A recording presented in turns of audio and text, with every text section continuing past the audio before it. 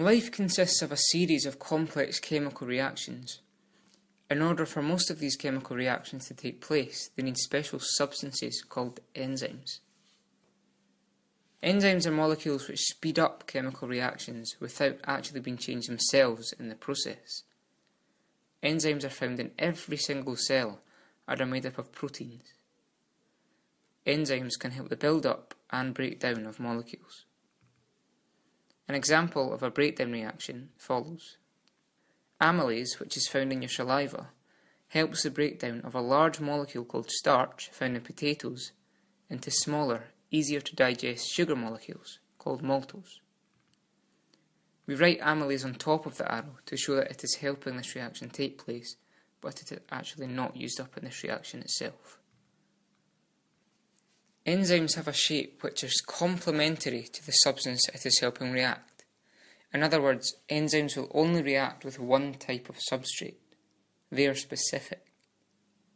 The enzyme molecule remains unchanged as a result of the reaction, which is a key feature of an enzyme along with speeding up the reaction.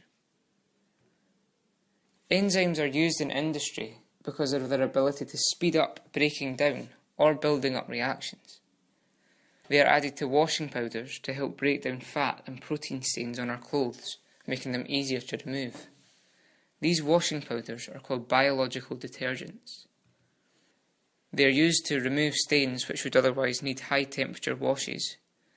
They save energy and money by allowing low temperature washes, and they help to clean delicate fabrics which would otherwise be damaged by a hot wash. Did you also know that enzymes are used to make cheese? An enzyme called rennet is used, which speeds up the clotting process of milk. The solid bits, called curds, are used to make the cheese.